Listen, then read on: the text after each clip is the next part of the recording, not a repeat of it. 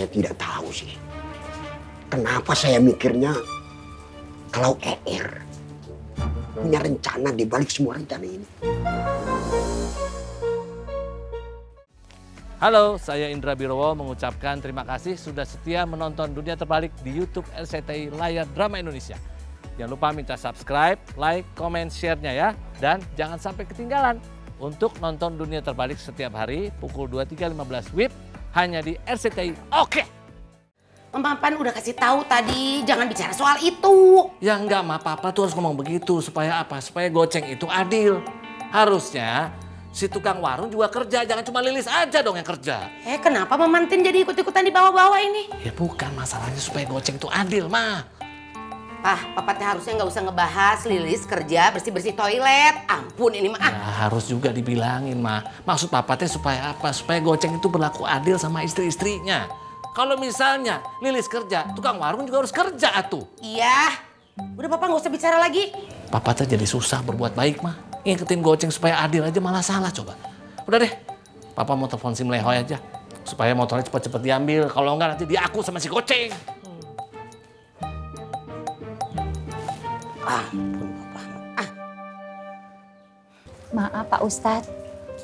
Kalau menurut Pak Ustadz bagaimana? Ya, saya datang ke sini mau tahu pendapat kamu. Kalau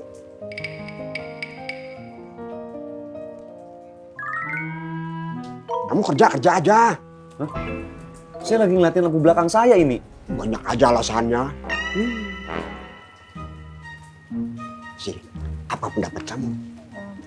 Maaf ya Pak Ustadz. Em, mungkin Pak Ustadz juga mikirnya sama dengan saya. Iya ya, tapi apa yang kamu pikirkan? Kalau saya agak heran tiba-tiba kenapa Ma Eros bisa kerja sama dengan Juni. Itu keheranan saya yang pertama dan langsung saya patahkan. Barangkali memang kedua nenek-nenek itu memang sedang akur. Atau sudah sadar kalau ribut terus capek. Eh terus apa lagi? Kata bapaknya Febri, Ma Eros sebenarnya kepengen Febri yang koordinir kan? Ya maunya saya juga begitu sih. Ya tiba-tiba kusoy menawarkan diri dan ER mengiyakan.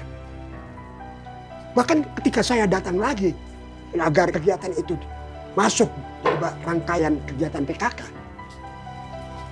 Kamu tahu kan ER bagaimana? It- Itu akhirnya dia setuju. Dan buat Pak Ustadz agak aneh. Ya aneh lah. Saya pikir itu bukan dia yang bicara. Terus kalau Pak Ustadz mikirnya bagaimana? Ya kalau saya... Eh, ngapain itu kerja-kerja aja?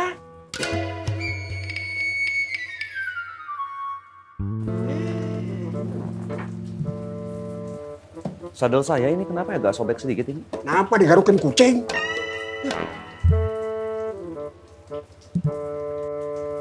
Sih, saya tidak tahu sih. Kenapa saya mikirnya kalau ER punya rencana di balik semua rencana ini.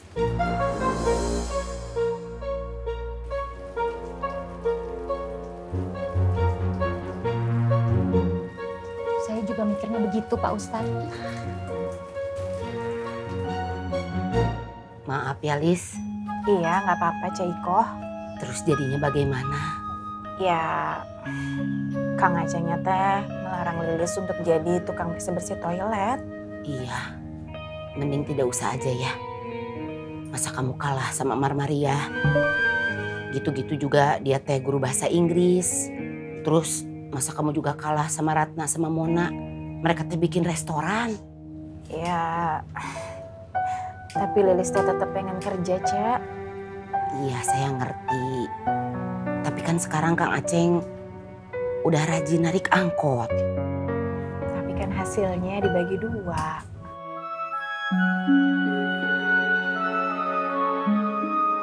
Assalamualaikum.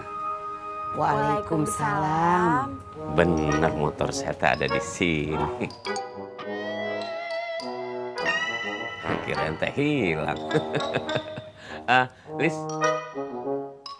Punten ya, Lis. Saya mau ambil motor saya. Iya, Kang Idoy silakan. Alhamdulillah masih ada. Ya masih ada tuh Kang Idoy.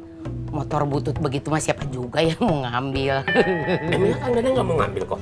ya Allah Kang Idoy, lihat atuh motor papanya Debbie, menikin celong begitu. Beda sama motornya Kang Idoy.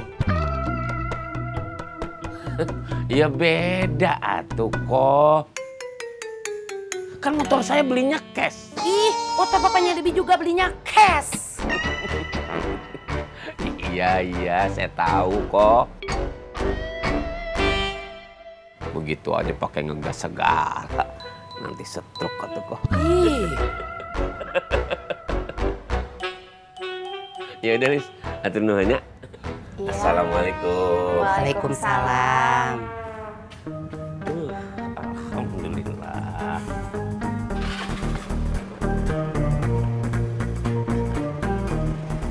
Enggak, kok, Lis? Ya.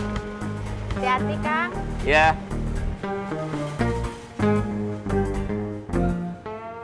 Enak aja Kang Idoy, dulu saya beliin papanya Debbie kredit. Iya. Belinya cash ya, Cek. Cash, Lis, cash!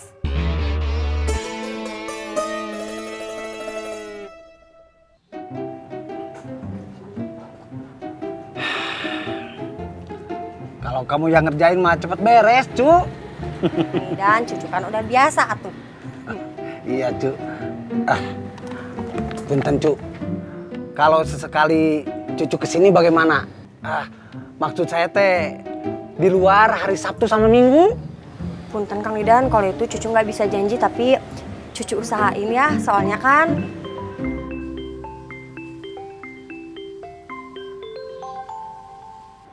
Cuyoyo, oh, Kang Idan punten atuh, cucu mau ke kantor dulu ya.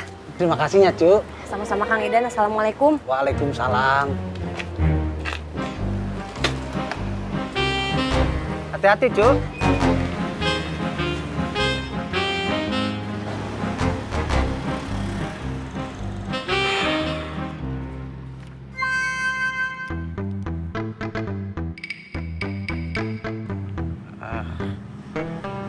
Ternyata banyak stok yang kosong ini.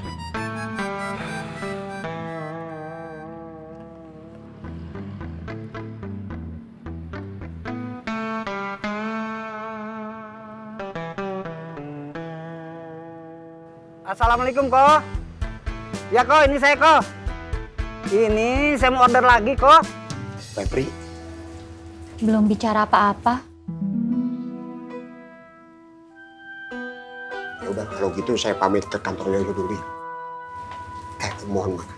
Ini jangan sampai dibicarakan ke siapa-siapa dulu ya. Termasuk juga tukang bulu.